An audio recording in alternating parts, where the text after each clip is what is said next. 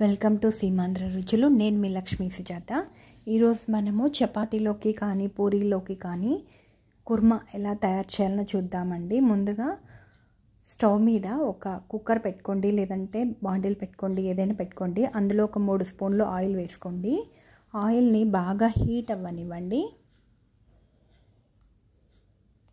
బాగా హీట్ అయిన తర్వాత కాస్త జీలకర్ర ఆవాలు తీసుకొని ఇందులో వేసుకోవాలి. ఇవి చూసారు కదా చిట్పట్లు ఆడుతున్నాయి కదా. ఇప్పుడు నేను ఈ ఆనియన్ పచ్చిమిర్చి ఆలు క్యారెట్ బఠానీ కరివేపాకు అన్నీ కూడా మనం ఏమేమి వేసుకుంటున్నామో అన్నీ కూడా ఒకటేసారి వేసేసుకోండి. నేను ఇంతే వేస్తున్నాను. ఆలు బఠానీ ఆనియన్ పచ్చిమిర్చి క్యారెట్ వేస్తున్నాను. కరివేపాకు. ఇవన్నీ కూడా ఒకటేసారి వేసేసుకోండి. మనం కుక్కర్లో వేస్తున్నాం కాబట్టి ఒకటేసారి వేసేసుకున్నాము. లేదంటే ఫస్ట్ ఆనియన్ పచ్చిమిర్చి కొంచెం వేగాక మిగతావన్నీ వేసుకోవాలి. కుక్కర్లో కాబట్టి అన్నీ ఈక్వల్గా వేగిపోతాయి. కాస్త పసుపు వేసుకోవాలి. మనం హడావిడిగా ఎక్కడికైనా వెళ్ళాలి అనుకున్నప్పుడు చాలా త్వరగా ఈ కర్రీ అనేది రెడీ అయిపోతుంది. ఇలా కాసేపు మగ్గనివ్వండి.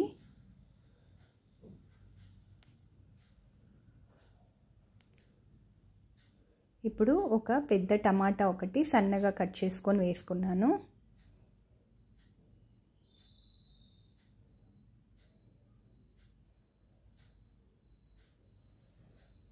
ఈ విధంగా అంతా బాగా మిక్స్ అయ్యే విధంగా కలుపుకోవాలి.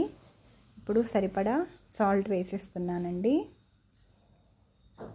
కొంచెం వాటర్ అంటే ఇది మునిగే వరకు వేసుకుంటే సరిపోతుంది. ఎందుకంటే మనం ఇందులో పుట్నాల పొడిని యూస్ చేయబోతున్నాము. అందుకని వాటర్ ఎన్ని వేసాను లేకపోతే కారం వేసుకునేటట్టయితే ఇన్ని వాటర్ అవసరం లేదు.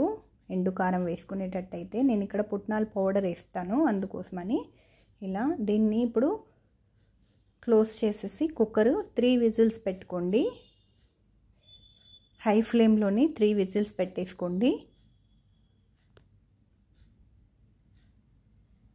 ఇప్పుడు ఇది పుట్నాల పౌడర్ అనమాట పుట్నాలు వేయించిన శనగపప్పు ఉంటుంది కదా పుట్నాలు మంచిపప్పులు అంటారు అవి అనమాట ఇందులో ఒక చిన్న గ్లాస్ వాటర్ పోసేసి బాగా దీన్ని మిక్స్ చేసేసుకోవాలి. వంట కట్టకుండా బాగా మిక్స్ చేసి పక్కన ఉంచుకోవాలండి. ఈ విధంగా మనకి కుక్కరు మూడు విజిల్స్ వచ్చేసాయి. ఇప్పుడు తీసి చూసినట్లయితే మనకి ఉడికిందా లేదనేది అర్థమైపోతుంది. ఒకసారి చెక్ చేసేసుకోండి ఇక్కడ.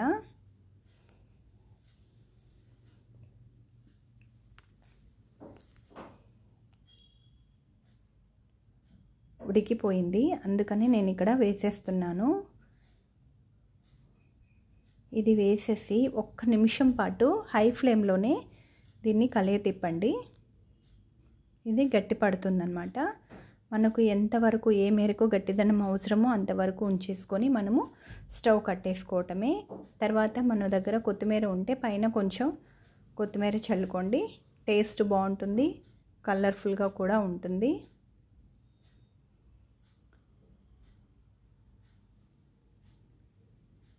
ఇంతేనండి. మన కర్రీ అనేది రెడీ అయిపోయింది. మీకు నచ్చుతుందని అనుకుంటున్నాను. నచ్చితే లైక్ చేయండి షేర్ చేయండి కామెంట్